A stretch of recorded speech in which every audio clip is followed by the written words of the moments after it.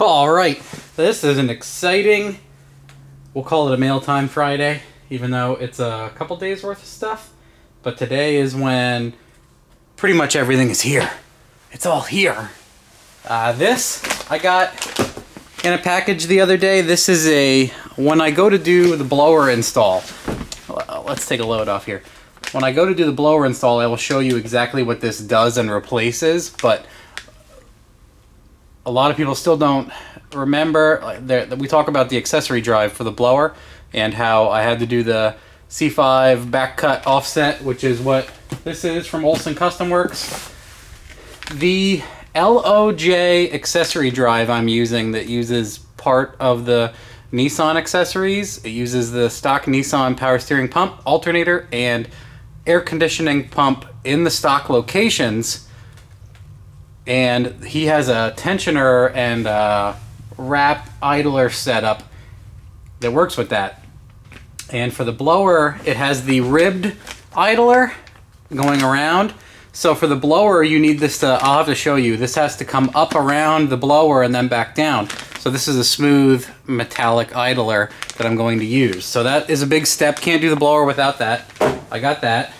And then the other day, Someone sent me a smaller intercooler tank so I can do engine bay. This just fits in the engine bay. And we're gonna put this in the front and use this for the water tank for now.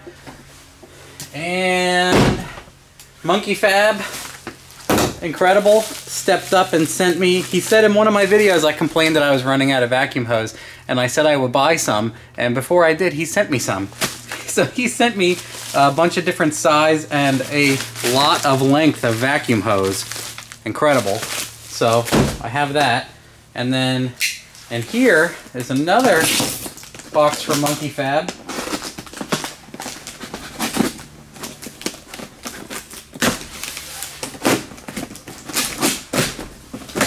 Man, that's some good tape there, Mike. This is fittings for my blower and they're barbed for this hose. So he sent the hose and everything.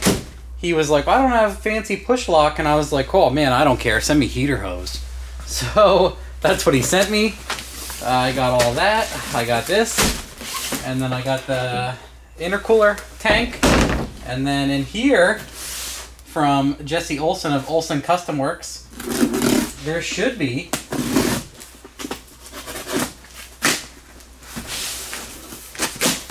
the icing for the cake on my birthday, also known as my LSA blower snout,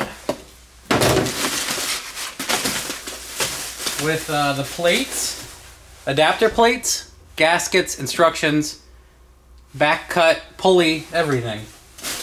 So now, a lot of people think I sent this out, we're gonna uh, interrupt myself. A lot of people think I sent this out to get it ported or to get something else done. It isn't that. Uh, I might have to show you in a video. I've posted it a couple times, but people still get confused. But once I show you, should make a lot of sense. Alright. There she is. There's the plates. There's some gaskets. There's a idler relocation thing, I probably, I don't know if I'll be able to use that with my setup. Here's the adapter plates that go from the square port on the blower to the cathedral port on the engine. And here is, assuming LS1, yep, LS1 intake gasket rings that go in the plates.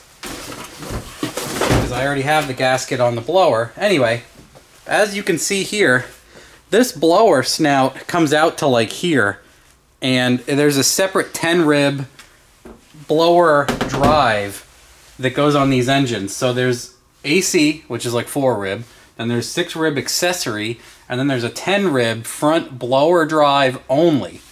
So I don't have room for that really technically on my car.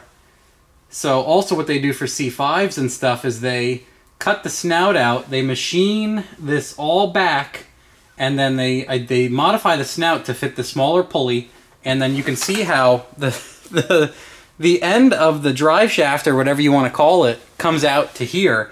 And this pulley is back cut that far to get to stock Corvette accessory. And a lot of people who have a keen eye notice this is 8 rib.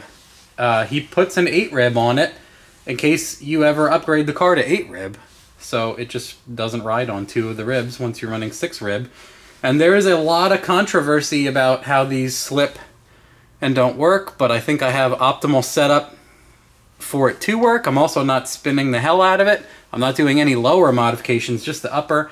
I understand how people say that the this pulley is very small. It's hard to get traction on it when you're trying to drive the blower hard, but I'm not really trying to drive the blower that hard. I don't have really huge expectations out of it. Uh, people can't even tell me really how much boost it's going to run because nobody is dumb enough to put these on a 4.8 like I am. So we will learn. It'll all be interesting. Oh, it looks like he even put Allen keys in here for me. That's really nice. I don't have to do anything with those. Other than that, I just got RTV this guy back on and start to bolt it on. And I'm going to video all of it.